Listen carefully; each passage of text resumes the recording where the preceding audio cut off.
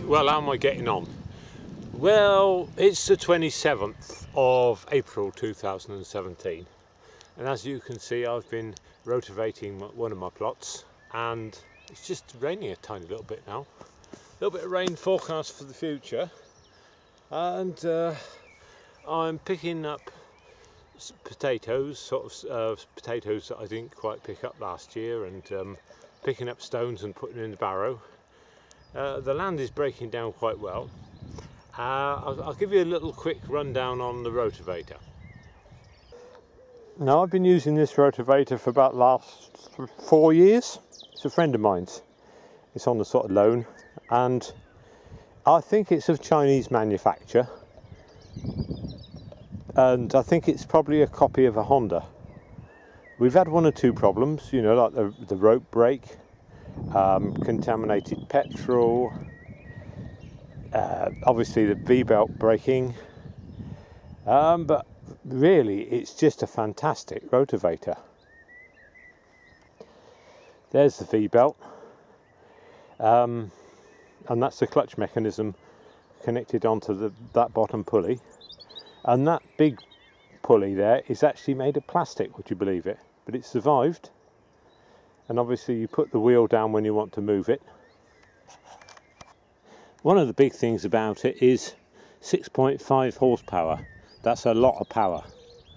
Um, so you've got the power there if you want to really whoosh it up.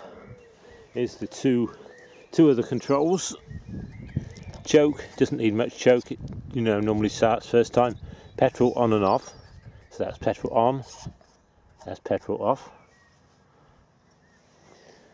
kill switch on the front here and another kill switch on the handlebars plus the throttle here and that's the clutch I've had to uh, make a clutch cable for it you can get a clutch cable off of eBay where you can make it to your own length with all the other little bits and attachments. So that's what I've had to do there. So that's excellent. This land's you know not too bad, quite clay down the bottom. Picking stones out as I go and putting the stones in the barrow. And I'm going to cart them up to put them on the sheet. So this is the main of the land I've done. Absolutely broken it down beautiful. There's a bit of uh, chard there, Swiss chard, which I've left, and there's some borage there and a mole plant which I've left. Um, borage is good for the bees and the butterflies. Got some mashua coming up, which the frost hasn't really killed, so that's good. Now this big blue sheet, it was on this bit here, so I've tipped it over to over here onto some rubbish ground to clear the rubbish ground off and I've uh, rotavated that, that big patch. So I've got quite a good area now to plant some potatoes and stuff in.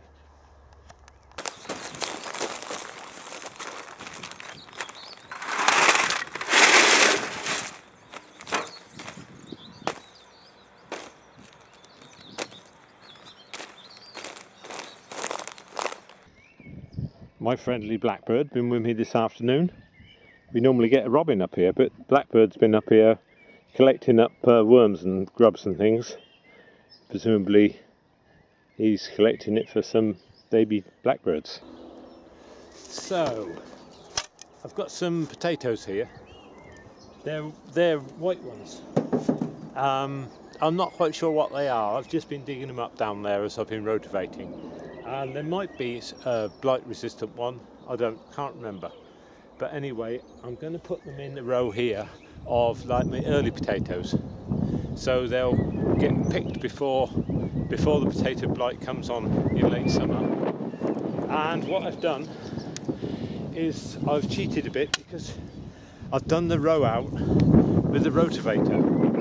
I've uh, done the rotavator a couple of three times in like there in a row to dig the soil out to make it easier to make, make a bit of a trench so I don't have to do much, too much digging. So that's got that row in. I can earth them up later. I've sort of loosely sheeted this end of the, this allotment down but I've uh, put a plank there over the sheet to run the rotavator across the sheets. It's quite good that bit because it's just got this wheel on the front you see so you can you can easily run that along.